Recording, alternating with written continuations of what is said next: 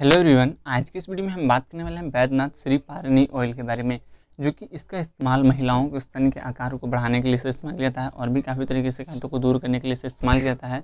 तो आज की इस वीडियो में हम बात करने वाले हैं बैद्यनाथ श्री पारनी ऑयल के बारे में, इसमें कॉम्बिनेशन क्या और इसके इस्तेमाल से क्या फ़ायदे होते हैं, क्या नुकसान हो सकता है, यह सभी बातें हम इस वीडियो में बात करने वाले हैं।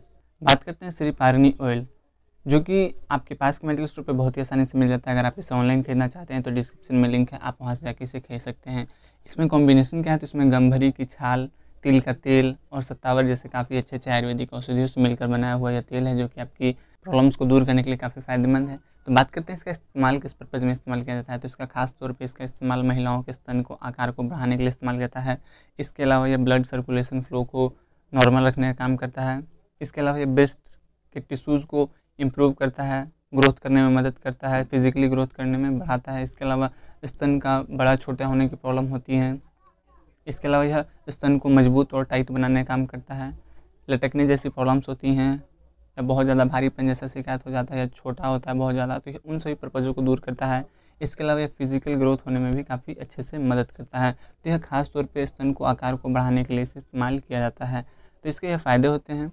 इसका इस सभी पर्पज़ों में इस्तेमाल करता है क्या नुकसान हो सकता है? तो इसके लगाने के मतलब अगर आपको जलन महसूस होता है, बहुत ज़्यादा या रेडनेस जैसी, लाल चकत्ते जैसी प्रॉब्लम होती है तो आपको सूट नहीं करा और आपको ये इस्तेमाल नहीं करना चाहिए। पर यह बहुत ही रेयर केस होता है।